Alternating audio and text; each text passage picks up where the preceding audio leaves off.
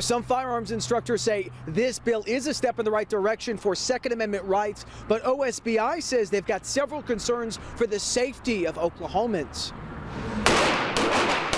If Governor Fallin signs Senate Bill 1212, firearms instructor Jeremiah Blasey says he believes this will be a step in the right direction. I think responsible people will do what responsible people do. They'll seek the training, they'll seek to do it safely, and they'll do it properly. Blasey and his business partner teach concealed carry classes. Blasey says if the bill is signed, there may be fewer people taking concealed carry classes, but he believes more people will take advantage of higher level classes. People will be more interested in getting good training in order to be able to carry their firearms safely, carry them effectively, and understand how to use them in a defensive manner. He does not believe this will make anyone less safe. OSBI says the bill makes background checks less extensive. We do a fingerprint based background search. We also check um, additional uh, databases and so forth. We check mental health records, all of those things to determine whether or not to issue somebody a permit. OSBI says if this bill passes, there's no way for officers to tell who's carrying a gun legally